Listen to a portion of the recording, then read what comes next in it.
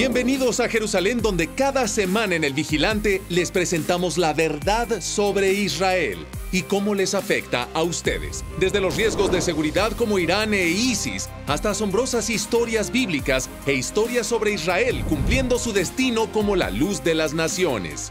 Nuestro equipo en Cristianos Unidos por Israel está comprometido para llevarles la verdad sobre la tierra de Dios. Acompáñenos cada domingo, exclusivamente en Enlace, y obtengan información veraz de lo que realmente sucede aquí en el Medio Oriente. Por la causa de Sión, no nos quedaremos callados.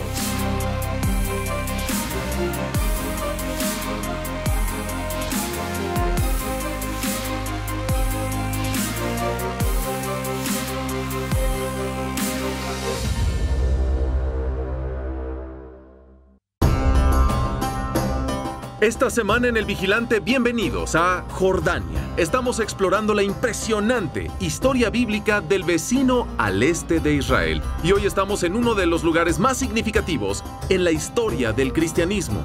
Nuestro buen amigo Daniel Excavador Germán está de vuelta para llevarnos a las antiguas ruinas de Mukawir. Este es el lugar donde Juan el Bautista fue encarcelado, donde fue ejecutado. Pero para los seguidores de Jesús, la muerte de Juan el Bautista fue solo el principio. Escucharán toda la historia hoy, aquí en El Vigilante, solo con Cristianos Unidos por Israel y solo por enlace desde Jordania.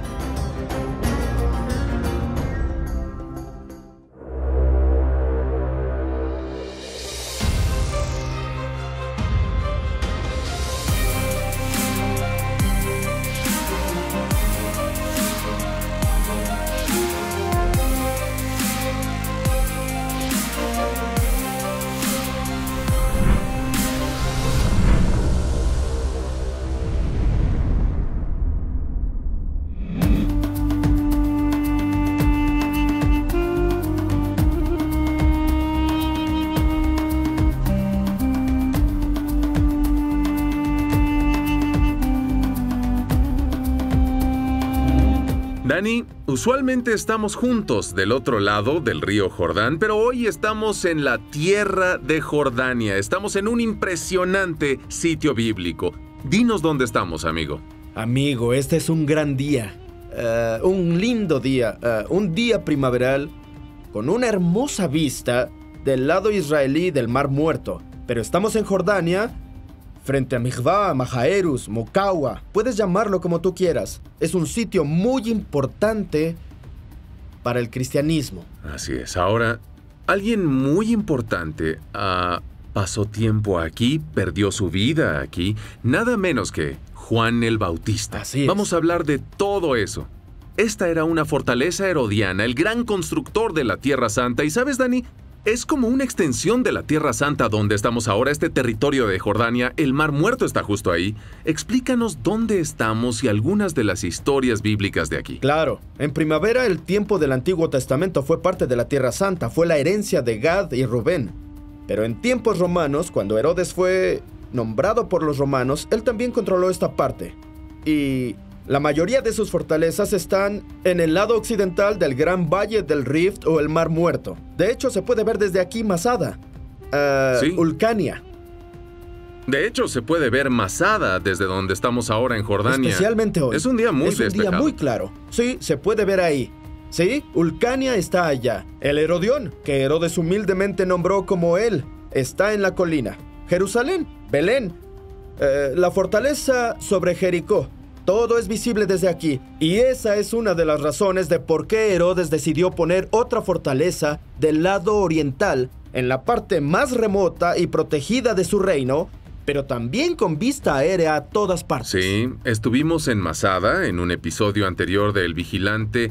Háblanos un poco de la motivación de Herodes para construir grandes fortalezas, incluyendo la que comentaremos ahora aquí en Jordania, Mukawi. Claro, fue nombrado por los romanos. Tiene que proveer muchos impuestos a ellos a cambio. A la gente no le gustan los impuestos. Sí, entonces es muy cruel si es necesario. Sabemos eso del Nuevo Testamento, que él mata bebés, incluso a su esposa si es necesario. Sí, y tenía paranoia de eh, que se rebelaran contra él, la gente. Entonces hizo fortalezas en el desierto, principalmente en el reino de Judea, algunas en el área del desierto de Samaria. Sí, Y tiene unas seis o siete. Masada es la más famosa, pero solo es una de tantas. Y nuestro lado aquí en Mukawir es el único que también construyó en el lado oriental del valle. Muy interesante. A Mukawir, Juan el Bautista, hablaremos de eso, subiremos a la cima de esta antigua, legendaria e histórica fortaleza. Ah, Háblanos un poco más ahora sobre el cristianismo, Dani, y cómo en Jordania, pensamos obviamente en la Tierra Santa de Israel, pero aquí en Jordania algunos acontecimientos muy importantes en la historia del cristianismo sucedieron, incluyendo el bautismo de Jesús. Por cierto, él fue bautizado en el lado jordano del río. Sí, el texto dice que fue en Betania, pasando el Jordán. Si, si Juan el Bautista venía de las montañas de Jerusalén, como nos dice el Evangelio de Lucas, de adulto fue al desierto usando piel de camello, comiendo langostas e invitando a las personas a arrepentirse. Prepárense, el Mesías ha llegado. Y lo hace en el río Jordán, pero del, del otro lado, del lado oriental del río. Es otro gran lugar que visitar y ver. Y... Mm, finalmente se vuelve tan popular que se atreve a hablar en contra del rey de ese tiempo, Antipas. ¿Sí? Herodes Antipas o Herodes hijo. El hijo de Herodes el Grande, quien construyó estas fortalezas. Él, bueno, Herodes padre las construyó y Herodes hijo las usó y las disfrutó. Sí.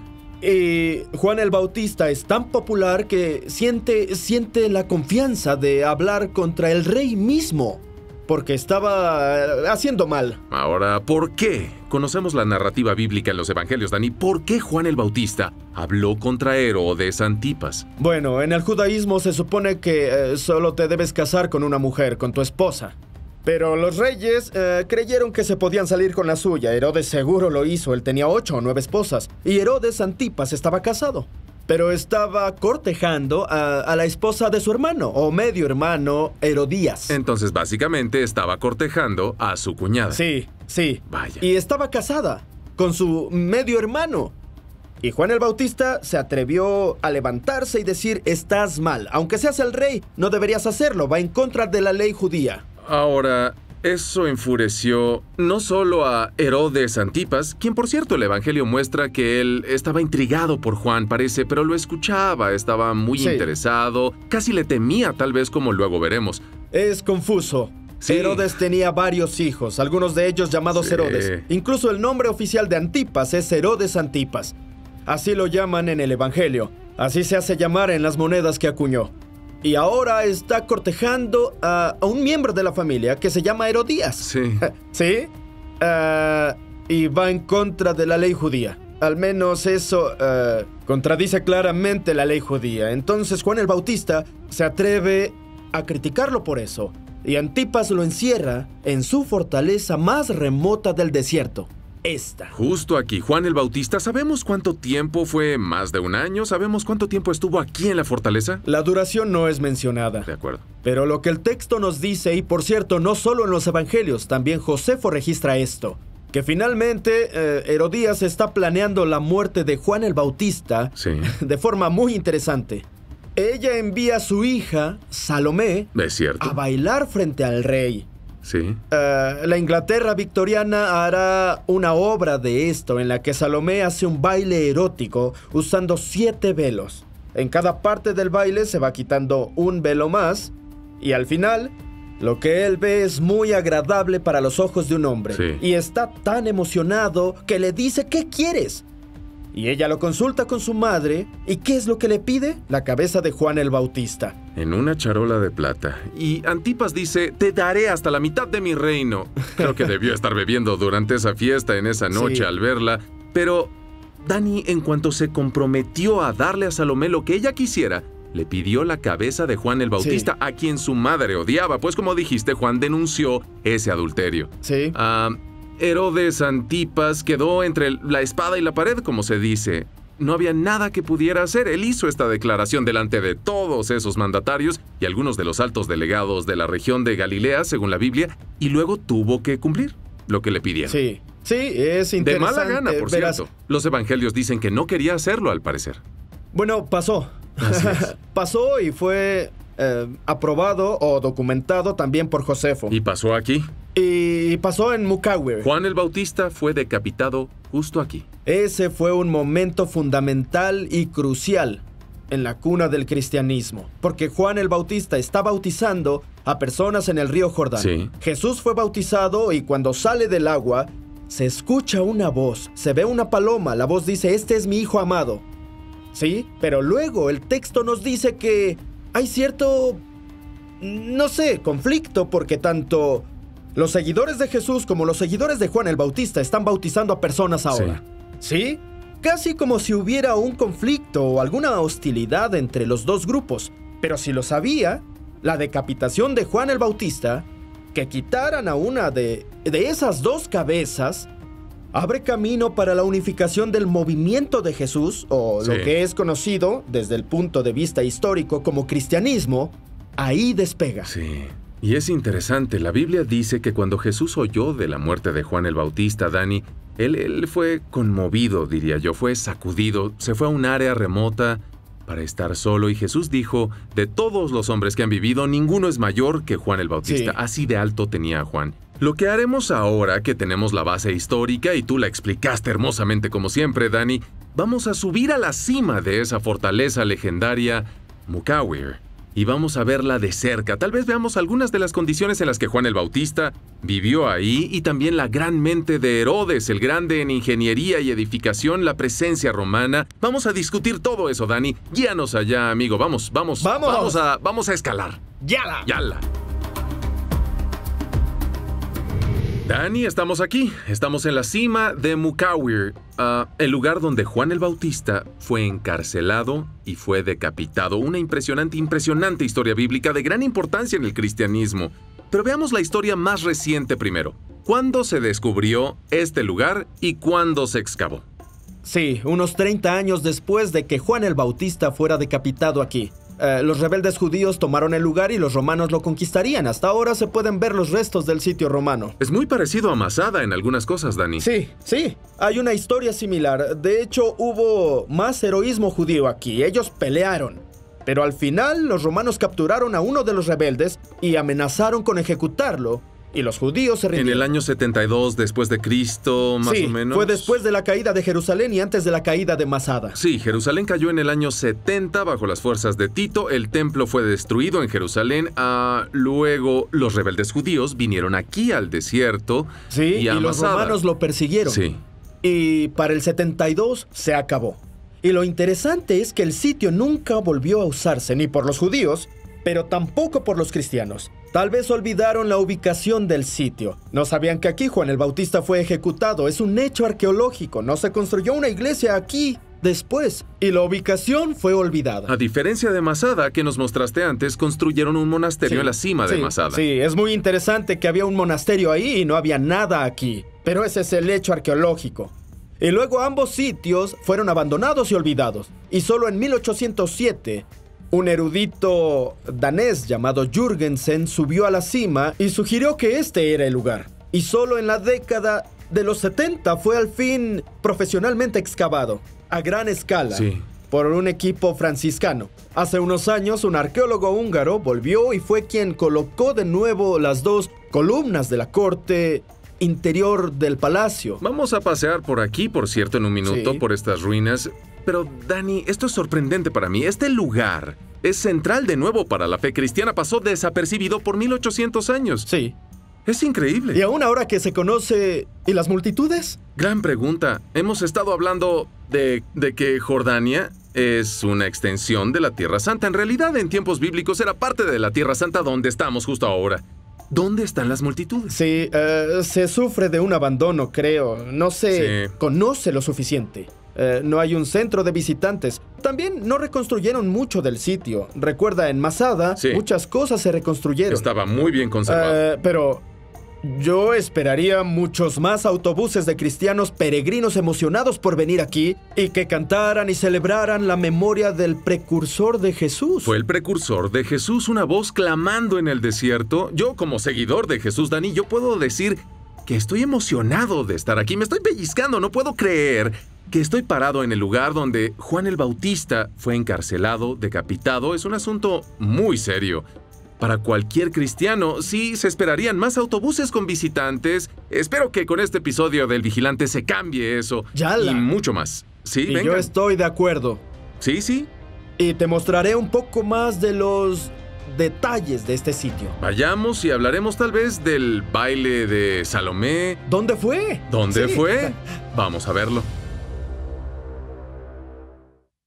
Participe en un viaje inolvidable cuando se unen los ministerios de John Hagee en su primer Latino Israel Tour con el grupo Miel San Marcos. Viaje a través de la Tierra Santa, donde visitará y experimentará los sitios bíblicos e históricos más importantes, así como el día moderno de Israel. Somos Miel San Marcos y queremos extenderles una invitación para que nos acompañen a Israel del 6 al 14 de noviembre de este año 2018. Esperamos que tú puedas ser parte de este tour donde conoceremos varios lugares de Israel y finalizaremos con una noche de adoración y celebración en honor a Cristo Jesús. Regístrate hoy.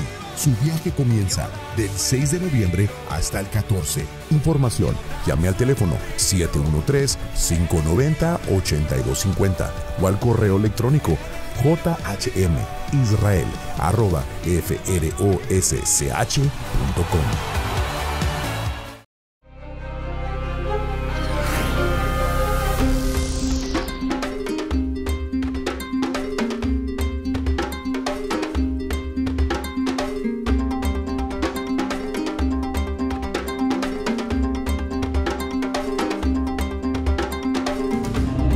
Dani, esto es emocionante. Estamos caminando por las antiguas ruinas de Mukawir. Caminamos donde caminó Herodes Antipas, los soldados romanos, Juan el Bautista. ¿Qué estamos viendo aquí ahora? Bueno, por desgracia, el estado de conservación no es tan bueno como en Masada. Sí, Eh, se pueden ver aquí los principios de restauración de uno de los salones así es. y eh, comenzaron a repavimentar el patio principal sobre el principal depósito de agua. Pero debes imaginar aquí, algunas partes tienen dos pisos de alto. Eh, pisos de mosaico, pinturas opus sectile, eh, colgando en las paredes. Sí. Era un complejo herodiano. Sí, Dani, como dijiste, Masada está muy bien conservada, obviamente, pero en nuestras mentes debemos recrear la escena. Aquí esta era un área cerrada, está al aire libre ahora. Esto tenía un techo, tenía paredes, mosaicos, pinturas, estaba vivo y vibrante. Vino importado, cristal, mm, copas. La corte del rey, Toda la riqueza herodiana que hemos visto estaba también aquí. por supuesto. Eh, pero pedazos de vasijas y trozos de piedra de mosaico es casi todo lo que queda ahora. Están en todas partes, Sí. son pedazos de vasija de 2000 años en el piso. Originales. Nada ¿Dónde? aquí pasa del año 72. Vaya. Este sitio dejó de existir después de la conquista Como dices, romana. Es original. Abandonado. Ah, bueno, hablábamos sobre el baile de Salomé. Sí. Ah, ¿Tenemos alguna pista de dónde bailó para Herodes, obviamente? Ah, y lo persuadió y le pidió la cabeza de Juan el Bautista. Ah, ¿Dónde pasó? ¿Dónde pasó? Es una ¿Dónde buena pasó? pregunta. Este es el patio principal. Sí. Tal vez ella lo hizo en público, frente a toda la audiencia, o tal vez en un área más privada como aquí. No lo sabemos, pero pasó por aquí. El provocativo Sí. baile. Ese sensual baile erótico tuvo lugar por aquí hace unos 2000 años. Un baile que cambiaría la historia del cristianismo verdad, o la Herodes definiría. no pudo negarse porque se había comprometido a darle lo que ella quisiera. Sí. Ah, háblanos de estos pilares. Sí, ah, estos dos pilares fueron puestos de nuevo hace algunos años. Uno tiene un capitel iónico, el otro tiene un capitel dórico. Obviamente son partes de dos diferentes componentes de este palacio. Y, eh, de nuevo, se necesita imaginación para reconstruir el resto. Sí. Los frescos, los pisos, los muebles. Pero esta es una indicación de la extrema riqueza herodiana real. Sí, fue un gran descubrimiento cuando los arqueólogos lo encontraron y colocaron de nuevo los pilares, como dices, pero hay más de este sitio. Hay un gran lugar por aquí que muestra lo judío que era este sitio y tal vez eso se relaciona con la ejecución de Juan el Bautista. Déjame mostrarte. Vamos. Saludos y gracias por ver este programa El Vigilante. Soy el reverendo Pirio de Jesús y tengo el privilegio de servir a CUFI como el coordinador nacional de alcance hispano en los Estados Unidos. Como un hispano evangélico a otros hispanos evangélicos, le quiero animar a que se unan a este gran movimiento de 3.6 millones de miembros y que sea parte de una sola voz en Cristo a favor de Israel. ¿Cómo se puede hacer eso? Fácilmente. Número uno, vaya a cufi.org y llena la forma digital para que se pueda unir a este movimiento. Número dos, vaya a Facebook, encuentra nuestra página bajo arroba Kufi Español y exprime el botón de like para que puedas estar conectado con nosotros. Y finalmente, vaya a YouTube, encuentra The Watchman en inglés, El Vigilante con Eric Stackelbeck para que puedas ver toda nuestra programación en español y en inglés. Gracias nuevamente por ser parte de Kufi. Que Dios le bendiga.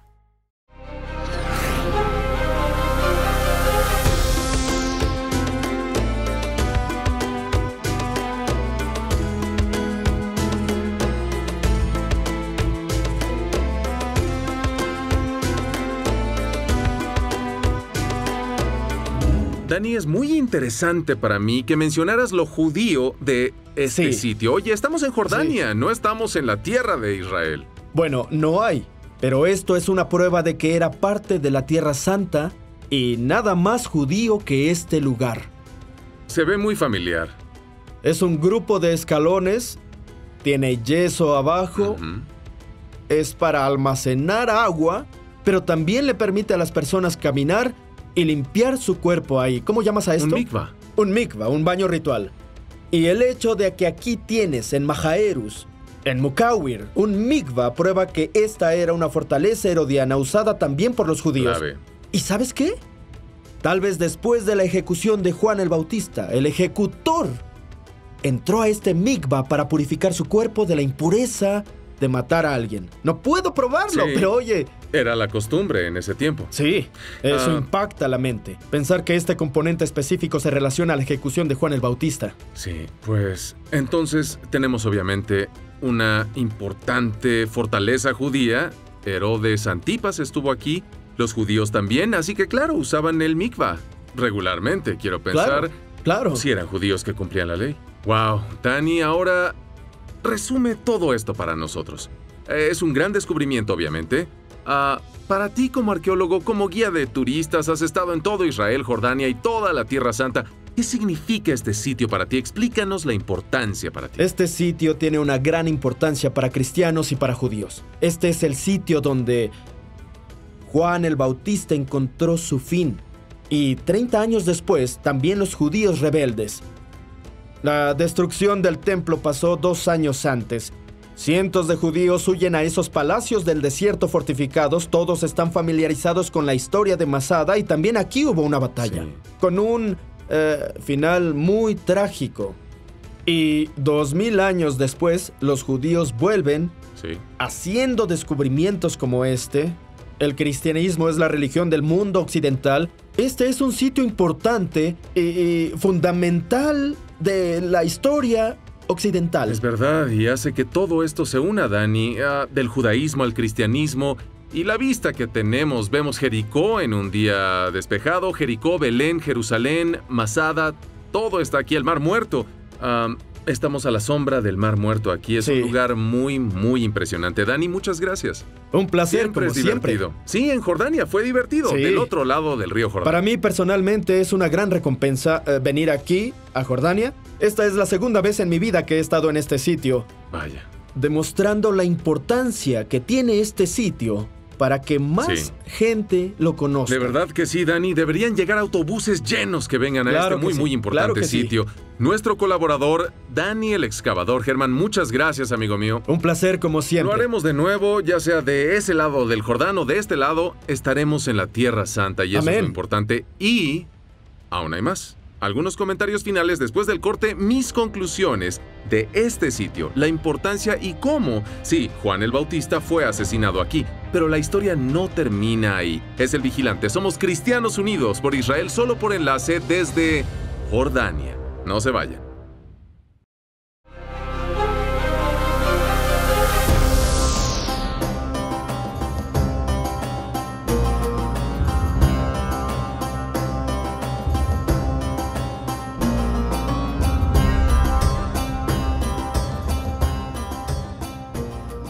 Bienvenidos de nuevo a El Vigilante. Estamos terminando aquí, en Jordania, las antiguas ruinas de Mukawir. Amigos, algunas ideas antes de irnos. Número uno, Jordania es un lugar con una rica historia bíblica como vieron hoy.